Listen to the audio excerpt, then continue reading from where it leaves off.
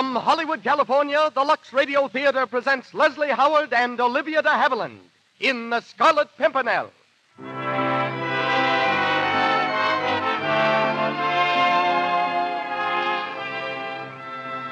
Lux presents Hollywood, the Robin Hood of the Reign of Terror. That was the Scarlet Pimpernel, whose daring defiance, whose colorful romance we bring you tonight with Leslie Howard and Olivia de Havilland. Madame Hilda Grenier, formerly royal dresser to Queen Mary of England, is our special guest, while our music is conducted by Louis Silvers. Before our producer takes over the program, let me remind you that Lux helps you get longer wear out of your stockings. It helps them stay nice and elastic, so they give under strain instead of popping runs. Yes, Lux cuts way down on runs. So give your stockings regular Lux care. Buy Lux Flakes in the large size box for greater economy. Our producer takes over the program. Ladies and gentlemen, Mr. Cecil B. DeMille.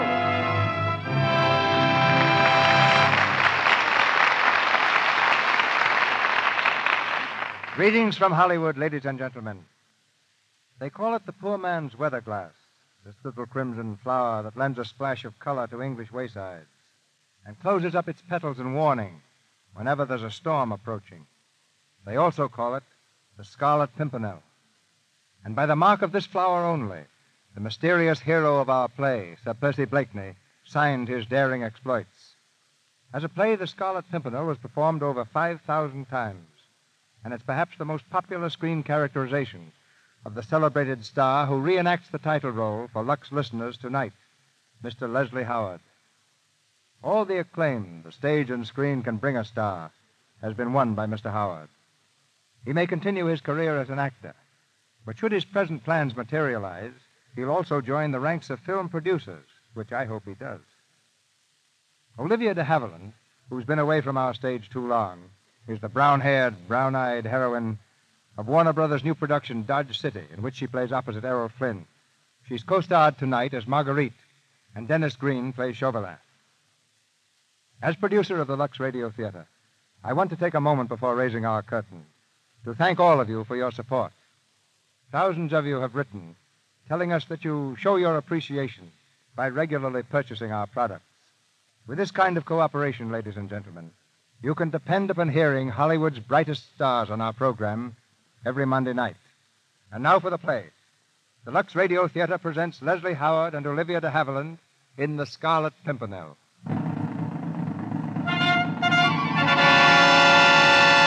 Paris, in the year 1793.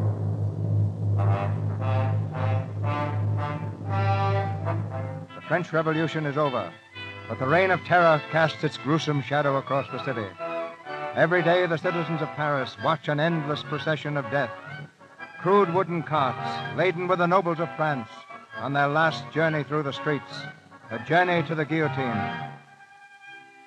Into this maelstrom comes one man to stem the rising tide of French blood, an Englishman, known only as the Scarlet Pimpernel, the object of every nobleman's prayer and every revolutionist's curse. He works silently, mysteriously, and successfully. In his native England, they speak of him with bated breath. The Scarlet Pimpernel. He's the only hope the French nobles have. The Scarlet Pimpernel? Does anyone know who he is? No, madam, but I must confess I feel quite proud when I remember that he is an Englishman. They say he's always in disguise. Oh, he's an actor, that man. He speaks French like a Frenchman, they say. And I've heard he can assume a hundred disguises in an hour's time. An old hag, a peddler, a captain of the guards. You never know in what dress the Scarlet Pimpernel will strike. And now the Scarlet Pimpernel is about to strike again. Into a barber's shop in Paris comes an old man in the black robes of a priest. The French barber greets him jovially. Ah, good morning, Father. You wish to be shaved this morning? Yes, if you please, Barber. Uh, sit down, sit down. Have you come from the square, Father? The guillotine is busy again today, eh? I don't know. I didn't stop. No? Well, it is always the same. The drums roll, the knife falls, and another aristocrat parts company with his head. Yes, very monotonous. And so clumsy. That great, ugly machine. When all they need is a sharp razor like this, a quick grip, and flick. Oh, please, please, don't flick quite so close to my throat. I only want a shave. You? you are all right, Father. But I wish they'd give me a few aristocrats to shave. Can you not see me dealing with the Scarlet Pimpernel? The what? The Scarlet Pimpernel, haven't you heard? No. There is a band of Englishmen helping these cursed aristocrats out of the country. Their chief is the only man who ever cheated Madame Guillotine. He is known by the title of the Scarlet Pimpernel. And uh, who is he? Ah, that is the mystery. The mystery, of course, yes. But there will be heads falling today in spite of him. Some very famous heads, Father. Yes? We checked off the names last night. The Duc de Tour, the Comte de Terray, Dinijon, the Comte de Tournay and his wife and daughter. The Comte- Tournay? Are you sure? The Tournay? But certainly, I am sure. They were taken to prison over a month ago. Why, Father? You are not a friend of theirs. a friend? No, no, no. No, it isn't safe to know any nobles these days. Hmm? Oh, good, very good.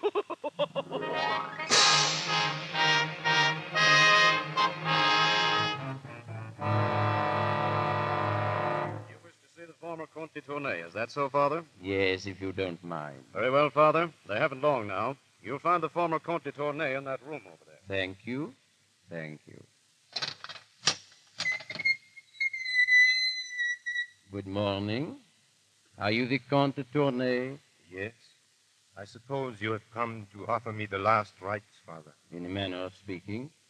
If you will just look at this passage I have marked in the book, your spirits will be uplifted. I am not afraid to die, Father. Even so, it is sometimes better to live, my son. To live? What do you. Read there in the book. But there is nothing on the page except a red mark. Look carefully. It is a flower. A red. A scarlet pimpernel. Father, are you the scarlet pimpernel? Be careful, it will do you no good to know. Just listen to me. Before you start on your journey to the guillotine, I will bring your wife and daughter to you. You will ride in the same tumbril. On the way, there will be an accident. The wheel of the tumbril will come off. There will be a commotion. The soldiers guarding the cart will be jostled by the crowd, all carefully arranged for. Look sharp, then. An old hag will drive past in a wagon. There will be a place to hide in the back large enough for three people. The old hag will drive you through the city gates. If all goes well, you'll be safe in England in three days. God bless you. Whoever you are, God bless you.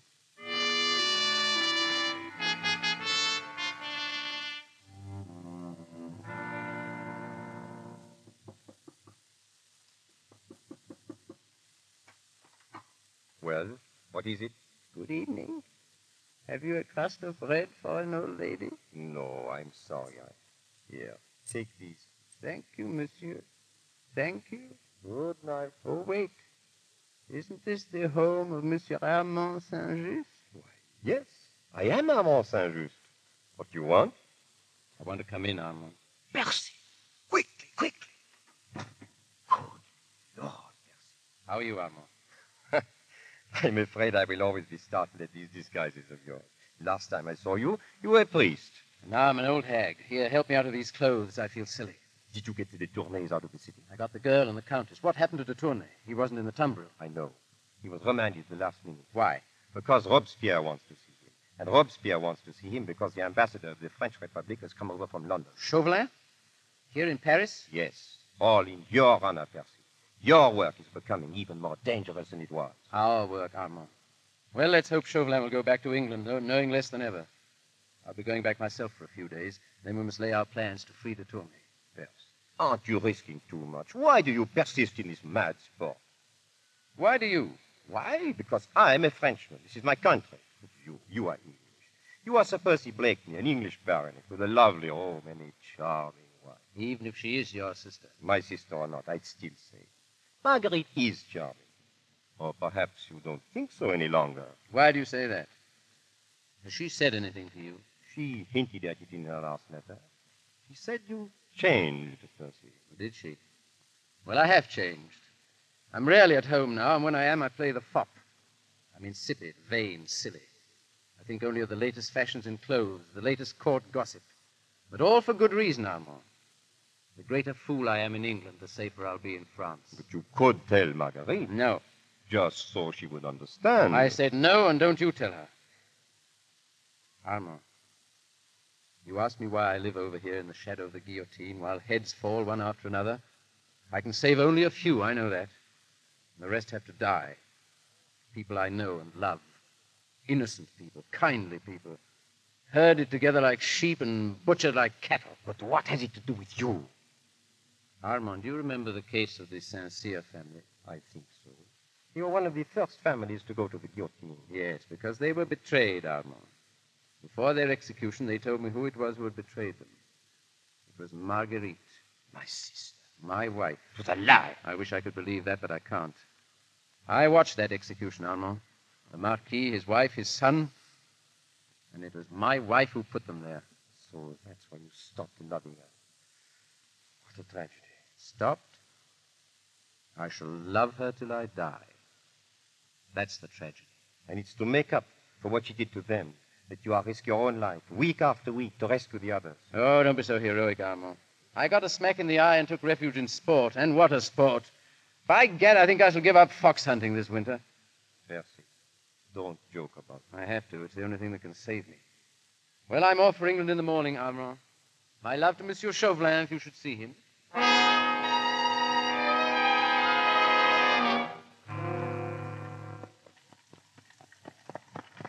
Gad, Percy, but it's good to have you at home again. So far, so good, Ffoulkes. I've still got my head. You should hear them talk about you in London. You're the greatest mystery of the age. Yes, well, I hope no one solves me just yet. But tell me about Marguerite. Has she been well? As well as a neglected wife can be. What has she been doing? Having her portrait painted, mostly. Romney has been there every day. And our friend, Monsieur Chauvelin? French ambassador. What will he be doing at your house? Oh, one never knows, Ffoulkes. One never knows. Well, England again. I shall have to become the fop once more. The London dandy, who has been at Bath for the past ten days taking the cure. And sink me, I'm not cured yet. I shall have to go back to Bath again.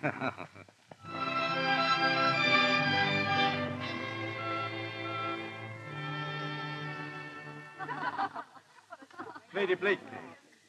Lady Blakeney, please.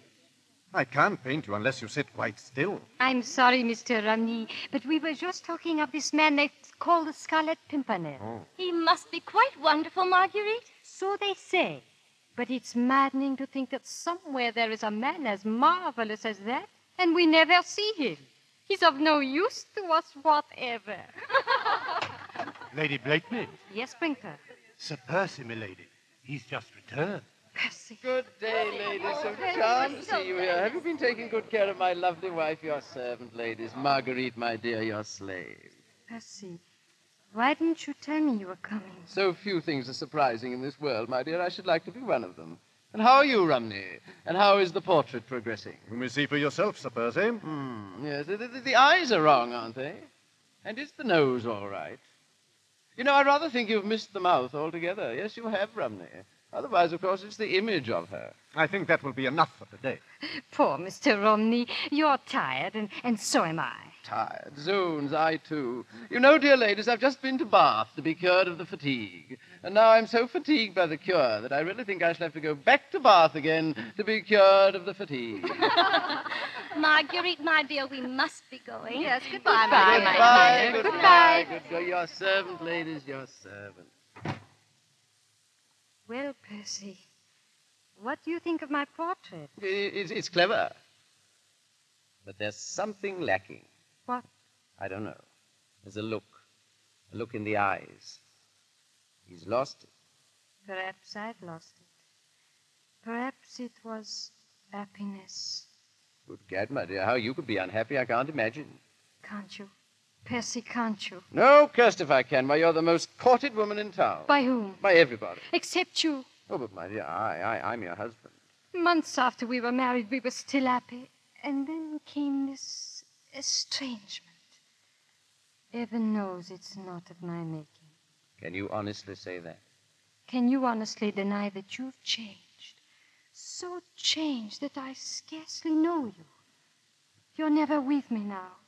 You're always away on some pretext or other. I'm always alone. My dear, the fashionable belief today is that one makes one's own life. I'm trying to make mine, you must try to make yours. And now I must leave you for a while. There's to be a fight for a prize out in the countryside. Mendoza versus Jackson. Quite a battle. Percy, you've only just come home.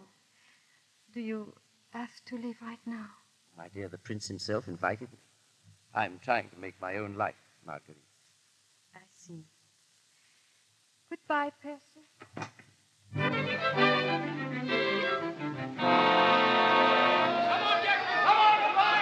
Come on, Jackson! Mendoza's groggy. He's done for. Don't Percy. you believe it, Your Highness? He's foxing. You wait until the 30th round. I'll wager a hundred guineas he won't last two more rounds. Done. Come on, Mendoza. Come on, Jackson. Percy, Ah, Ffoulkes, sit down. Percy, I've got to speak to you at once. Pardon me, Your Highness. Well, Ffoulkes? Percy, it's Chauvelin. He's returned to England. Chauvelin. Where is he? He's. he's. Well, come on, Ffoulkes. Come on, man. Where is he? He's at your house, Percy. At My house. Order my carriage. I'm leaving at once.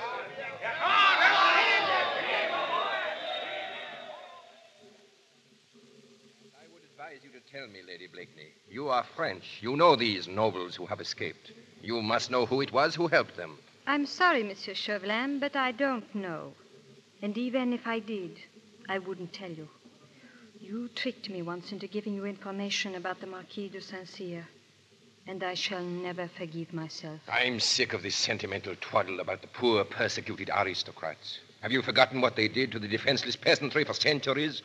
What this very Saint Cyr did to you? No, I have not. But I'm no spy. Then that is your last word? Absolutely. I wonder. Oh, by the way, uh, how is your brother, Armand? He is uh, very well, I hope. I hope so, too. But yesterday he was arrested Arrested? at Boulogne What for? as a traitor to his country. Traitor? Oh, you're lying, Chauvelin, trying to trick me again. I have the proof of his guilt in my pocket. A note he once wrote to the Scarlet Pimpernel. This scrap of paper will certainly send your brother to the guillotine. Unless, of course, you care to redeem it. Bring me the name of the Pimpernel, and this is yours. But even if I wanted to, I don't know it. Find it, How can I if you can't with an army of spies? because you go everywhere and know everyone in his circle. That much I do know. And this also, that he will be among the guests tomorrow night at the Grenville Ball. So will half the world. The thing's impossible. To a clever woman whose brother's life is at stake, nothing's impossible. Well, Do you swear to give me that paper? the moment I catch the Scarlet Pimpernel. Zoons, that name again. Percy. I've heard nothing else all day at the club, at the fight, and now here. I protest the fellow's a public nuisance. Oh, I, I beg your pardon, my dear. Do I intrude? No, no. This is an old acquaintance, Monsieur Chauvelin, the French ambassador. Uh, my husband. Charmed, delighted, enchanted. The devilish clever race, the French. How they speak that unspeakable language of theirs defeats me. You flattered us, Sir Percy. No, no, no, no, no. You've got the cleverest heads in the world. The only trouble is you all go to pieces round the neck. Round the neck? Yes. Now, now look at your cravat. Sink me, what a mess. Now, if you'd really like to know how to tie a cravat, I'll tell you. But it isn't easy, you know. It takes all my brains. Yes, I'm sure it would. Yeah, yes, of course it would. Now, you see, look here. First of all, first of all, the thing goes twice round the neck. And then the, the front folds back to allow the back to come to the front. Otherwise, of course, the front, uh, the front would be all behind as, it- as, as it was before, you see? Hmm? Percy, what are you talking Now, about? you, you don't follow me, my dear. It's exactly what I say. It takes brains, doesn't it, Mr. Chauvelin? Uh, one can see that. Yes, of course one can. Well, yes. good day, Lady No, Blakeney. no, no, no, no, don't go, no. I want you to hear my verse about that Pimpernel fellow. You'll love it, Chauvelin. Now, listen here. They seek him here, they seek him there. Those Frenchies seek him everywhere. Is he in heaven? Is he in. that dim, delusive Pimpernel. Delightful. Yes, I wrote it, you know. It's clever. huh? Yes, Huh? especially that uh, that line, those Frenchies seek him everywhere. Oh, yes, yes. I, I like that too, yes. Because you see, I hear that they do. And that gives the line sort of a sort of a something uh, that gives it a sort of a something. Uh, if I uh, if I make myself clear. Yeah, clear as crystal. Yeah. Good day, my dear Sir Pierce. Bonjour, Monsieur, as the French say. Bonjour, Monsieur. Oh, it was a magnificent fight this afternoon, my dear. Gad, I wish you could have been there. What's the matter, my dear? Percy, who is this Scarlet Pimpernel? Pimpernel? Gad, Marguerite, how should I know? What's your interest in the Scarlet Pimpernel? Oh, no more than any other woman's. We'd all like to know who he is. Yeah, so would your friend Chauvelin, I'll wager. What makes you say that? Well, isn't that what he's here for? Didn't he tell you? Why should he? Why not? Mind you, the man's clever, but a fellow who can't even tie his own cravat isn't likely to put a noose round the Pimpernel's neck, is he? Oh, Percy, can't you ever rise above trivialities? Can't rise above anything in more than three syllables, my dear. Never could. you were a man once. A man a woman could look up to. Could turn to in trouble. And now, I wouldn't know where to begin. Could you begin by telling me what the trouble is? What's the use? We don't speak the same language. We did once, but I don't think we ever will again. Really? Well, perhaps you're right, my dear.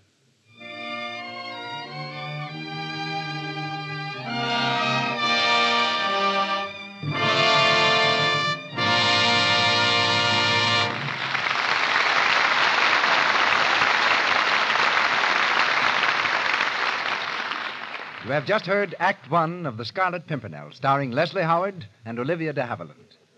During our brief intermission, let's see what the Brownings are doing. Jingle bells, jingle bells, jingle all the way. Oh, what fun it is to ride in one horse open Mmm, Christmas spirit.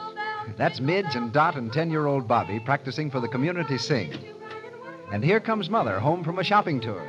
Hello, youngsters. Hiya, Santa Claus. Whoopee! Look at the packages. Ooh, what a day. Here's your ribbon and wrapping paper, Midge. Thanks, Mother. And uh, did you get the, uh, you know. yes, here it is, Midge. Zowie, what's that? Now, Bobby, no fair peeking. Well, gee, can't I just feel it? Nix, you keep away. Mother, did you get the stockings? Yes, here they are, Dot. Who are they for, Dot? Mary Lou. She's always running out of them. Running out is right. Gosh, did she pop a runner in chemistry today? Gee, it's something awful, the runs she gets. And snaky scenes, too. I'm a snake wriggling through the grass. Oh, Bobby. Oh, I know. I know. Why, what? Why, look, Dot, you could wrap a box of Lux Flakes in with Mary Lou's stocking. Oh, I bet she'd love to know about Lux. I'm sure she would, dear. Lux cuts way down on runs. Gee, and we could write a little card like this. Lux these stockings, fine and sheer, uh, to help cut down on runs, old dear. well, I think that's swell. Now, that was mighty helpful of Midge, thinking of Lux Flakes for Mary Lou. In a month's time, I bet Mary Lou will be very grateful to Midge, for she'll be glad to get the special help Lux Flakes gives. You see, Lux saves the elasticity in stockings, so they give under strain instead of breaking into runs so often. If you haven't tried Lux for your own stockings, you'll find it's great the way it cuts down on runs and helps stockings wear longer and fit better. Buy Lux Flakes tomorrow in the large size package for extra thrift. Now, Mr. DeMille and Act Two of our play. We continue with The Scarlet Pimpernel, starring Leslie Howard and Olivia de Havilland.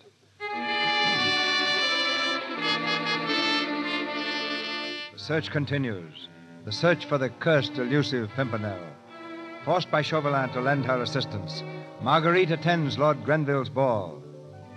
As she enters the crystal and marble room, she glances nervously around, wondering which of the guests is the Scarlet Pimpernel, never suspecting her own husband, the vain and foolish Sir Percy Blakeney.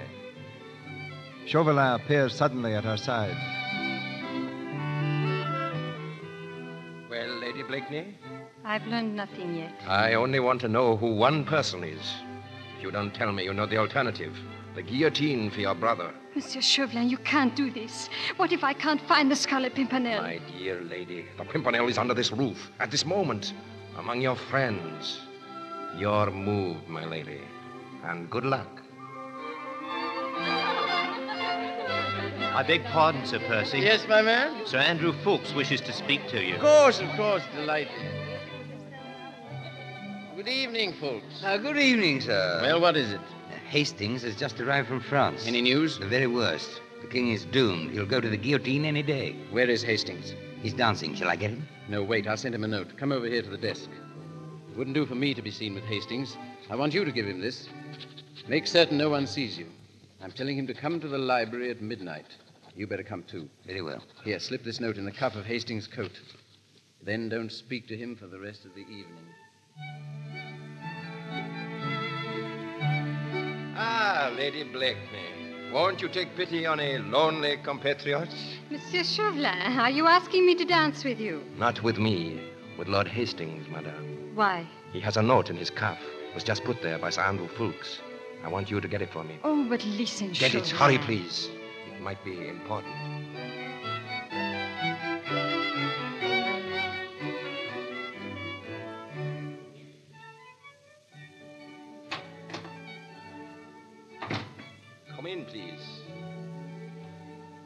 Well, Lady Blakeney, did you get that note from Hastings? No, You didn't? I couldn't. I think he suspected me. I pretended to turn my ankle. He helped me upstairs, and then while I was sitting there, he read the note and burned it. Then he left. He burned the note? Yes, but not entirely. Some of the pieces were left. The note began. Go on, quickly. It said, Start tomorrow myself. And the last sentence was, We'll be in the library at midnight. Thank you. Thank you, Lady Blakeney. And now, if your labors have tired you, you are quite at liberty to go home. Thank you. I will. Are you certain of this, Ffoulkes? Quite certain. Hastings burned the note, Percy, as you've always ordered us to. Then he went back to the room, and she was reading what was left of it. And she went to Chauvelin? Yes. You know what that means, Percy. It means that Chauvelin knows that the Scarlet Pimpernel will be in the library at 12 o'clock. Perhaps. And perhaps he will. Is this the library? Yes, Monsieur Chauvelin. Have you seen anyone go in or come out of this room in the last few minutes? No, sir. Who is that on the sofa? Oh, I don't know, Monsieur. He must be asleep. Please wake him up and ask him to leave. I have an important engagement here. Oh, oh it, it's uh, Percy Blakeney, sir. Blakeney, that fool. Wake him up and ask him if he'll have the decency to go home and sleep in his own bed. Yes, sir. Uh, Sir Percy. Uh, Sir Percy. What? What, what, what, what, what is it? What is it? Is there no peace for the weary? What ails you, man? Uh, the French ambassador, Sir Percy. He would like to have the library to himself. The French ambassador. Ah, Monsieur Chauvelin. I am sorry to disturb you, Sir Percy, but I have an important engagement here. Really, Gad, there's not a comfortable sofa anywhere else in the house. I've tried them all. Sit down, Monsieur. What time is this uh, this gentleman to appear? He's a little late. If you don't mind, I'll wait for him alone. No, not at all, not at all. By the way, what, what do ambassadors talk about in libraries at midnight? It must be very fatiguing. Uh, are you afraid England is going to declare war on France? That does not concern me at the moment. Is that so? Your revolution now. Now, there, there, there's a great bore. Uh, how's it going? Do you think you'll win? We have won, sir. Oh, you have, I see. Yes. Have I been asleep that long? I, I hate to hurry you, Sir Percy, but I'm afraid your presence here is keeping my friend from entering. Oh, he can come in. Is he, is he outside? Oh, come in, do, sir. Please don't stand on ceremony. I hardly think that will persuade him. Ah, this must be a very secret meeting. I have it. I'll wager you're expecting that Scarlet Pimpernel. Is that it? Sir Percy, you're becoming insufferable. Oh, Monsieur Chauvelin, you would not deprive me. Let me hide behind a curtain. Anything. Just let me be the first in London to glimpse that mystery man. Well, I'll be the most popular man at the club. It is too late now. He has been warned. Oh, then I shall miss him. Oh, sink me. Well, good night, Monsieur. Better luck next time. Good night.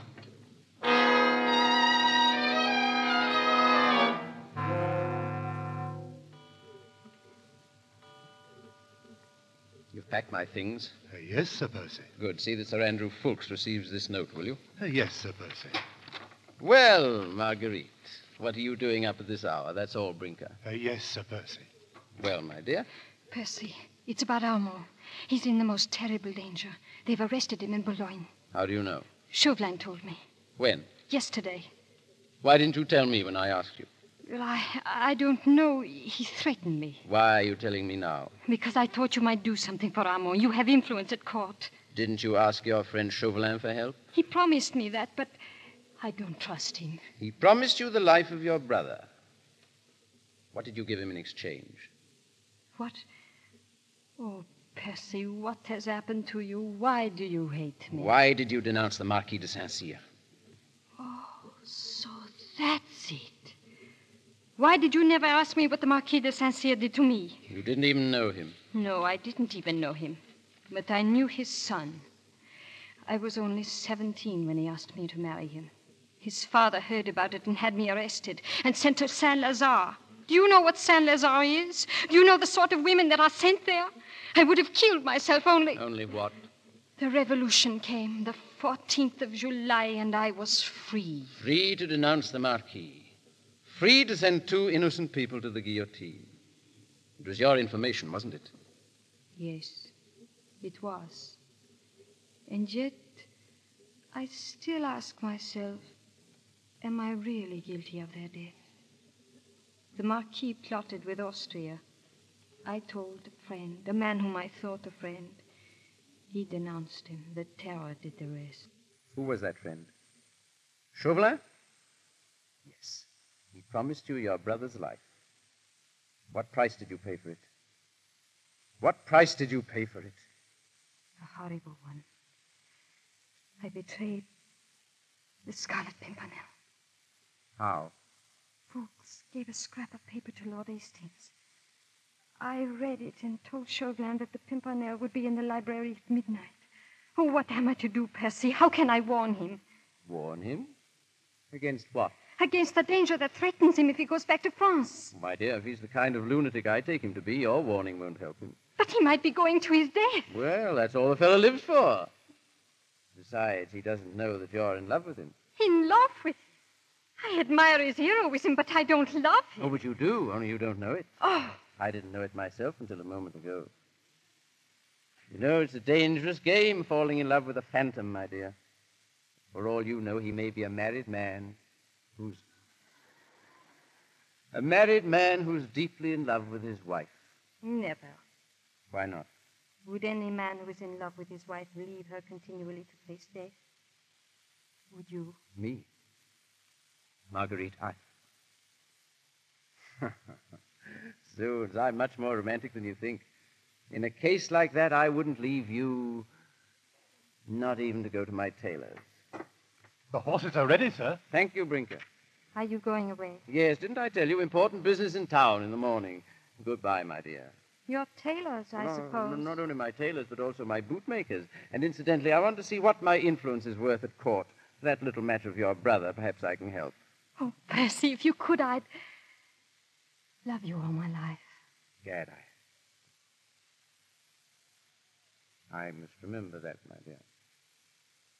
Goodbye. Milady, What is it, Brinker? it's very late, milady. I suppose you want me to leave this room. I've never been here quite alone, have I? I know, milady. I've hardly even noticed the furnishings. That portrait of Sir Percy's one of Romney's? Yes, milady. A very fine one, too. He's a great believer in detail, isn't he? Look at that ring on Sir Percy's finger. You'd think it was. Brinker, Yes, milady? have you ever noticed that ring? Why, no. It's a seal ring, milady. Look closely. That flower, engraved on the stone. What is it, Brinker? Why, bless my soul. It's a scarlet pimpernel. My lady, Well, a letter to be delivered into your ladyship's hands. some from Sir Percy? No, madam, from His Excellency, the French ambassador. Give it to me. My lady, I have at last discovered the identity of the Scarlet Pimpernel. I hope to catch him tomorrow and, true to my word, bring her. Yes, my lady? order my carriage at once. I must see Sir Andrew Ffoulkes.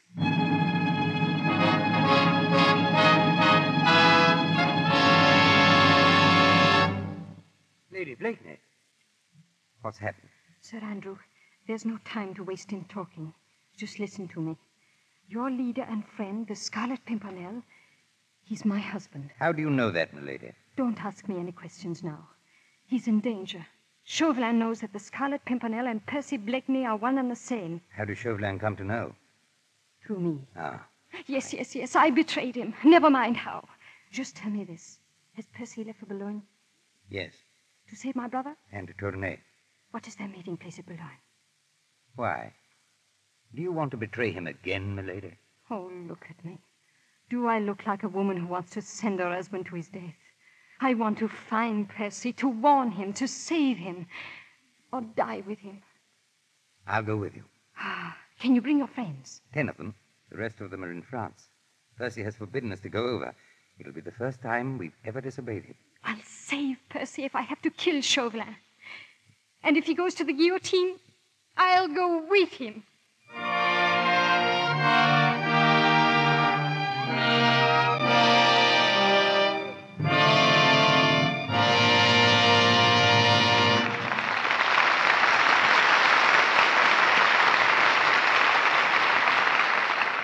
We pause for station identification. This is the Columbia Broadcasting System.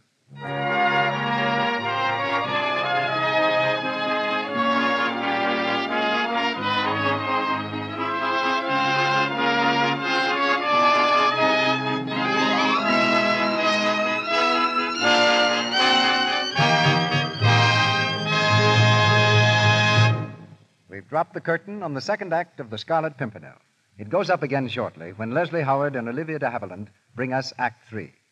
During this short intermission, we hear from our special guest and Mr. DeMille. In addition to being a foremost authority on the period of tonight's play, Madame Hilda Grenier, like our drama, has been intimately concerned with English nobility all her life. For many years, she had the title of Royal Dresser to Queen Mary and has been on duty at every imaginable royal function from baptisms to coronations. Her background makes her one of Hollywood's most valued technical advisors. If there's a more proper introduction for an ex royal dresser, Madame Grenier, please enlighten us. It was infinitely better, Mr. DeMille, than my first introduction to royalty. Princess Charlotte of Germany had granted me an interview. Entering her salon, I tripped on a rug and went flying along the highly polished floor like a sailboat in the wind. when I dared to open my eyes, there I was at the feet of the princess. She laughed, picked me up, gave me my first lesson in poise. And now, sir, I can tell you a little about royalty, a little about the Scarlet Pimpernel. Which would you like first? Well, we, we'd like to know a little more about you. Suppose you tell us what a royal dresser is. In addition to direct supervision over Queen Mary's wardrobe, my duties included the care of her jewels, orders, decorations, messages, and other personal activities. I suppose my greatest responsibility was to see that everything Her Majesty wore was absolutely correct, right down to her umbrellas. Her umbrellas? Indeed. Each one in her tremendous collection was named after the person who gave it to her. She'd simply ask me to bring her Lord Chesterfield, or Papa, or the Emperor, or Dolly. But far more famous than her umbrella collection is her priceless array of antique furniture. Many of her most treasured pieces originally came to England with aristocrats escaped from France at the time of the Scarlet Pimpernel. What mementos do you have, Madame Grenier, of your days in the palace? Several cherished gifts from both the late King George and Her Majesty. I was also given a pair of silk stockings worn by Marie Antoinette, who was the guillotine's most celebrated victim. Handmade, they have a texture like gossamer. Of course, Mr. DeMille, I wouldn't dream of wearing them, as you can well imagine. But just from showing them to my friends, they became soiled, and I finally had to make a courageous decision. I had to wash them. But I did the job myself, and Lux, with Lux, they came out perfectly. Mm-hmm. Lux, incidentally, was used in Buckingham Palace during all the years I served Her Majesty. Hmm, that's a real tribute. Looking back over those years, what stands out most conspicuously in your host of regal recollections? And not the pomp and glory, Mr. DeMille, but the little human traits of Her Majesty. I remember how, as Princess of Wales, she wept because she had to leave her little baby, Prince John, for an official visit to India. How, coming home from a new musical show, she would whistle tunes from the play, just as you and I. And I well recall how she'd carefully tear off bits of unused papers from letters and save them for memoranda. Hmm. She was and is a wonderful woman. Now, the word I promised about the play. It may be a surprise to most Americans to learn he actually existed, Sir Percy Blakeney, called the Scar- Scarlet Pimpernel. To this day, his descendants are well known in England. As portrayed so excellently by Mr. Howard, he was vain and foppish, but underneath it all, courageous almost to the point of being foolhardy. Was the Scarlet Pimpernel ever caught? Well, suppose we all listen to the third act of the play and find out. You've entertained us royally, Madame Grenier. The Scarlet Pimpernel, starring Leslie Howard in the title role and Olivia de Havilland as Marguerite, with Denis Green as Chauvelin.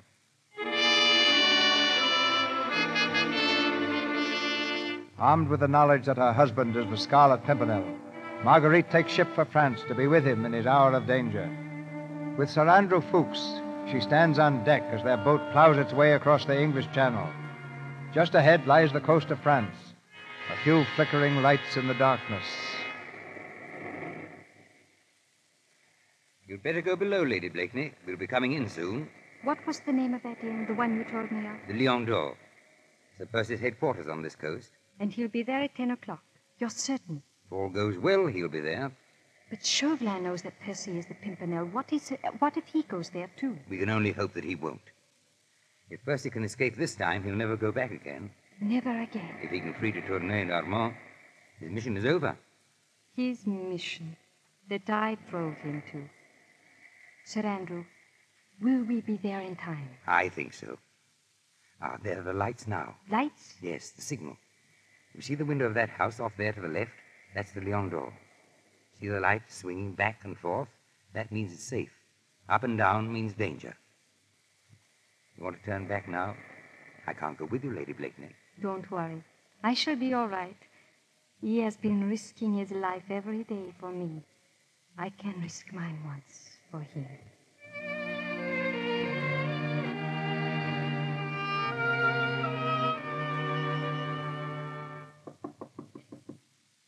Who's there? A message. Well? Is this the Lion d'Or? Yes, madame, but. Let me in, please. Madame, what do you want here? This is no place for one of your sort. I'm the sort that pays well, Citizen Brogard. For what? For a seat by the fire.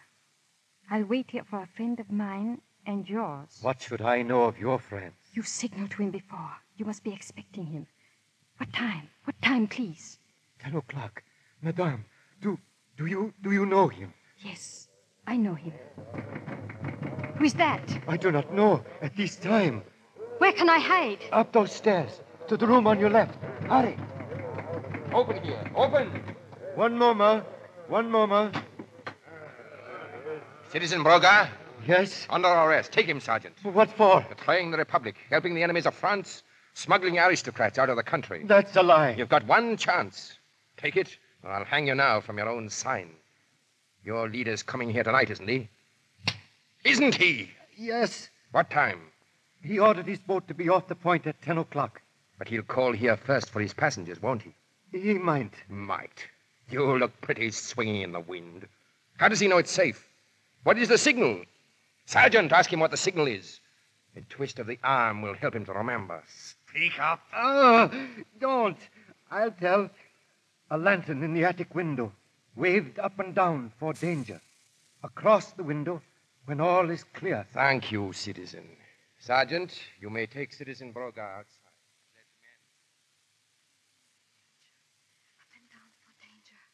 Oh, God, let him see the signal. Let him see it. Up and. Put down that light, Lady Blakeney. Chauvelin. We meet again. Permit me, madame, but you were giving the signals incorrectly. Up and down means danger. That will drive the Pimpernel away. You must move the lights back and forth across the window. So. Now he will come to us. Chauvelin, listen to me. He's my husband. A fact that you neglected to mention a few days ago. You've got to let him go. I'll do anything you want. I'll give you any information you can, but you've got to let him go free. Don't be a fool. You've no more information to give. Even if you had, do you suppose I'd sacrifice my meeting with the Scarlet Pimpernel for it? Monsieur Chauvelin. Well, Coach, monsieur, is pulling up at the door. ah, our friend is early. I'll let him in myself. Sergeant, you shall have the privilege of watching over the Republic's most charming prisoner for the rest of the evening.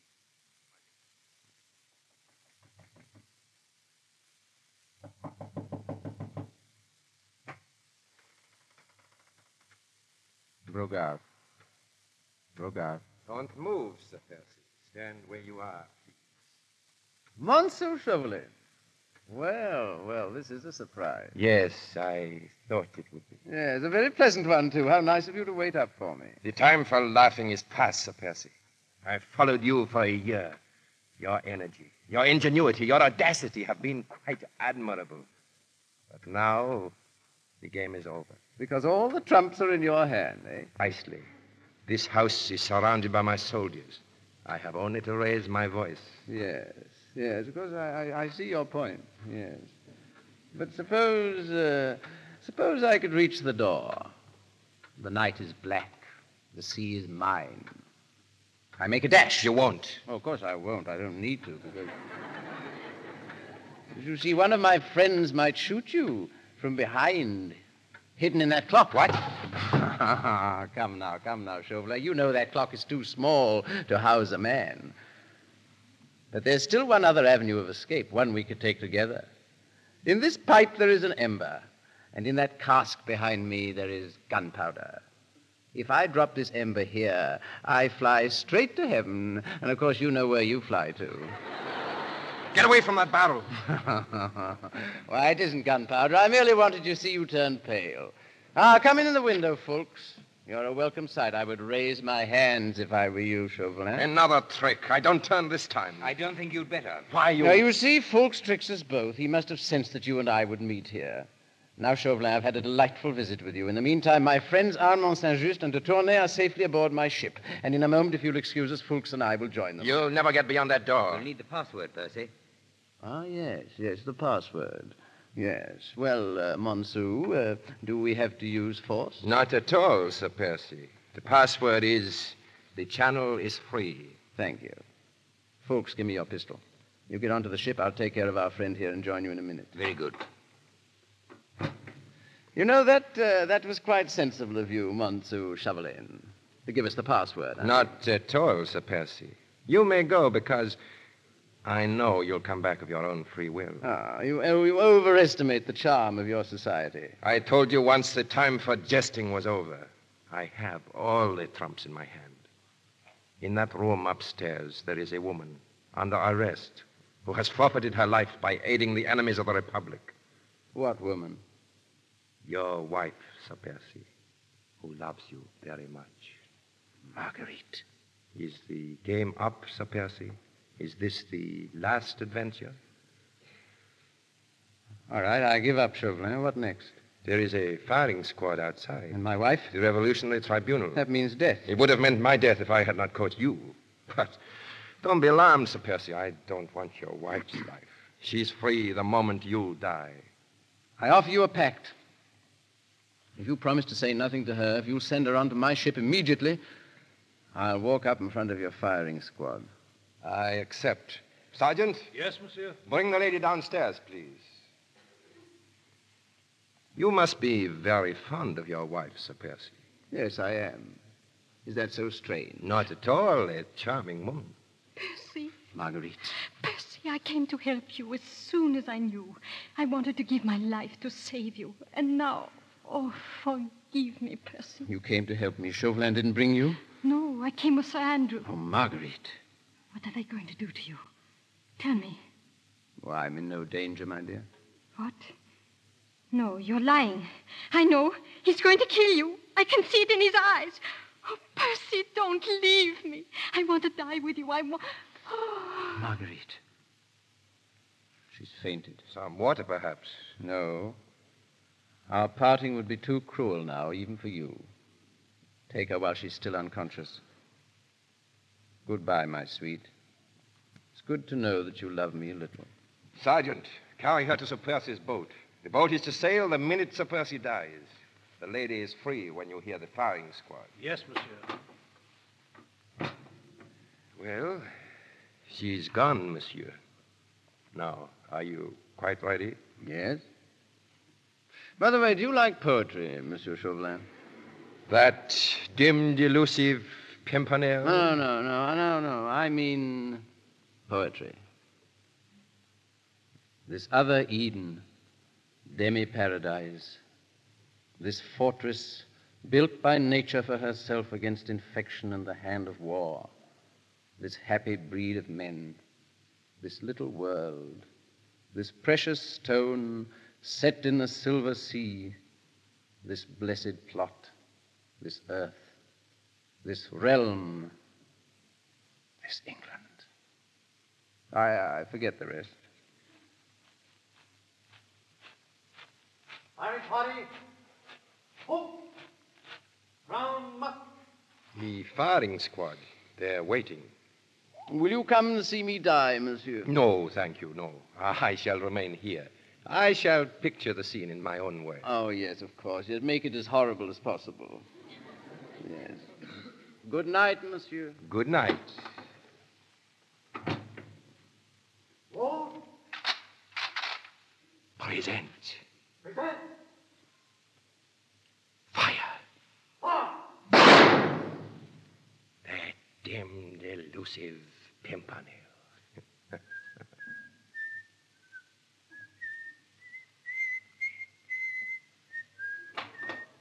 I'm so sorry, monsieur. Blakeney! Yes, you see, I've come back for my hat. It's such a cursed good hat, you know. You, but you. Oh, no, no, no, no, no. Don't, don't look at me like that. Sink me if you don't think I'm my own ghost. Duroc! Duroc! Oh, you mean the captain of your firing squad? I'm afraid it'll be an hour or so before poor Captain Duroc will be able to resume his duties. I regret that I struck him rather violently. Come in, gentlemen. This uh, is my firing squad. Allow me to present Sir Andrew Ffoulkes, Yes. Lord Hastings, Lord Belville, and all the rest of them. But of course, you know all about them. Your firing squad? Yes, you I see, don't- those men you hired, oh, excellent men, all of them, but oddly enough, they can't resist a drink of wine. Oh, they'll recover. It was just a mild drug, you know. But uh, for the moment, they're all sleeping very soundly.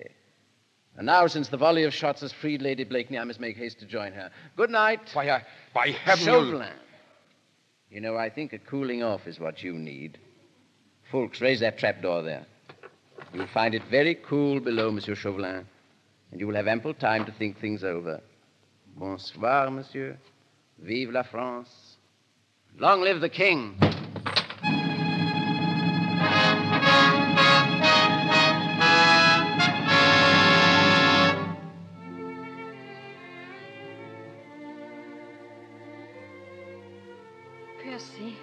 You're here. They told me. Yes. Marguerite, my darling, I'm here. We're on our way to England. That's all you have to know. Are we free now?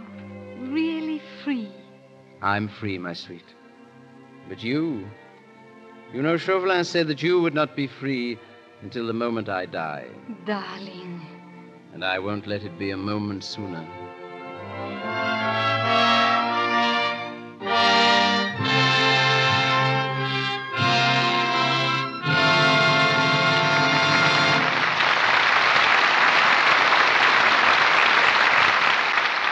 Take leave of the Scarlet Pimpernel. You know, hearing the Brownings get all excited over Christmas reminds me of something, and I'd like to tell you about it before Mr. DeMille comes back with our stars. I want to tell you a very snappy way to trim your Christmas tree. All you need is your old friend Lux Flakes. Now listen. Pour a large box of Lux Flakes into a big bowl and add two scant cups of lukewarm water. Whip it up with an egg beater. Gosh, it's wonderful the suds you get. A big panful of fine white suds that looked like whipped cream in the bowl and like real snow on the Christmas tree. Now, take handfuls of the suds and spread them with your fingers all along the branches of your Christmas tree. If you want an even more glittering effect, while the suds are still moist, sprinkle the tree with artificial Christmas snow, the kind you get in the stores. Boy, what an effect you get. Your tree looks as though it had been out in a real, honest to goodness snowstorm. It certainly is pretty, all sparkling and everything. And you know, this is one way to help your tree last longer, because the Lux suds cling to the needles and keep them from drying out and falling off too soon. Want me to repeat the recipe? A large sized box of Lux flakes, two scant cups of lukewarm water, whip with an egg beater. That's all. Be sure to get the large sized box of Lux so you can make plenty of snow. Here's Mr. DeMille. Our stars drop their roles. Lady Marguerite is again Olivia de Havilland, and the Scarlet Pimpernel becomes Leslie Howard. Well, it was every bit as enjoyable bringing this play to the air, Mr. DeMille, as it was bringing it to the screen. As Madame Grenier told us, the Scarlet Pimpernel really actually existed. I confess I didn't know that until I was making the picture, because surely no character seemed a more, a, more a piece of elaborate fiction. So naturally, when someone sent me a note and said he belonged to Sir Percy's family, I wondered whether one of my friends was had thought up the gag. You know, it was uh, slightly embarrassing not long after when a Mr. Blakeney, a descendant of the original Scarlet Pimpernel, introduced himself to me. Two weeks ago, Mr. Howard, I heard you say something on this program about turning motion picture director. Earlier tonight, Mr. DeMille added the word producer after your name. Apparently, you're really going into the picture business in all its branches. Oh, branches. you scare me, Olivia. As a matter of fact, we expect to produce certain pictures in England, but just to be sure that our efforts will be will appeal to our American audiences, we're going to write our first story right here in Hollywood. It'll be the first time, I believe, that this has been done by an English unit. well, there's no reason why the tie that binds the nations can't be made of celluloid. Mr. Havilland, you've been out of Hollywood a long time filming Dodge Cities. Any adventures on location? Well, I'm the Dodge City Dodger. I've been dodging kidnappers. Not kidnappers. Yes, kidnappers. Really? Let me tell you, we were on location near Modesto in the prairie country, and a very fine place, I thought, for a nice, quiet walk. But it seems that two very tough looking gentlemen also decided to take a nice, quiet walk and follow me. And after a couple of miles, they were still right on my heels. There wasn't another soul around, and the only building in sight was a farmhouse. And when I made a dash for that, the two men dashed after me. I reached the farmhouse, found it was abandoned, and decided to face it out. I walked right up to the men, demanded what they wanted, and looked them straight in the eye. One of them took something out of his pocket. I didn't dare look. I was too sure it was a six shooter. Just as I was about to faint, the man poked it under my nose and said, We sure would like your autograph, Mr. Havilland. and believe me, gentlemen, I signed. well, Mr. DeMille, I hate to say goodnight, but I guess it's time to. Thank you for another grand evening. Yes, with an added thank you to all who worked with us in the cast. Good night, CB. Good night, Mr. Howard. Good night, Olivia. There's a great show awaiting you here next Monday night. Listen for Mr. DeMille's announcement of it shortly. Heard in The Scarlet Pimpernel were Denis Green as Monsieur Chauvelin, Walter Kingsford as Sir Andrew Ffoulkes, Vernon Steele as Romney, Ramsey Hill as Armand St. Dieu, Reginald Sheffield as Count de Tournay, Eric Snowden as the Prince of Wales, Gerald Cornell as innkeeper, Keith Kenneth as Brinker, Lou Merrill as a barber, George Pembroke as Lord Hastings, John Toty as a voice, Dave Roberts as a guard, and Geraldine Peck, Ethel Sykes, Coral Colebrook, and Betty Sutter as ladies of the court. Mr. Havilland's current film is the Warner Brothers comedy Hard to Get. Mr. Howard is co director of the new picture Pygmalion. Our musical director, Louis Silvers, appeared through courtesy of 20th Century Fox Studio, where he was in charge of music for the new picture Kentucky. We want to remind you that this is the time to help the 1938 drive to fight tuberculosis. Help make the world safer. Purchase your supply of anti tuberculosis Christmas seals now. Use them on all your Christmas mail. Show that you are helping too to fight the dread disease. Buy seals for Christmas, and you buy health for the new year. Mr. DeMille. It carries a punch like a prize fighter's fist, the play you'll hear next Monday night. Kid Galahad. An exciting drama of the squared circle.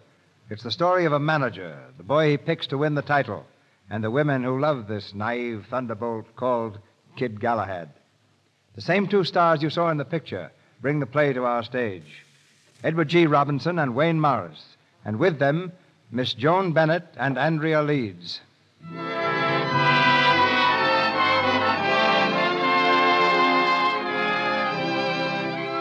Our sponsors, the makers of Lux Flakes, join me in inviting you to be with us again next Monday night when the Lux Radio Theater presents Kid Galahad, starring Edward G. Robinson and Joan Bennett, with Wayne Morris and Andrea Leeds.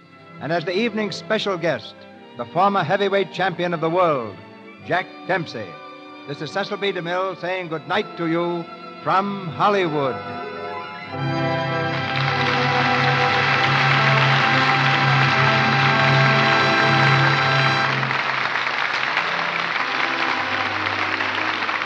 The announcer has been Melville Ruick. This is the Columbia Broadcasting System.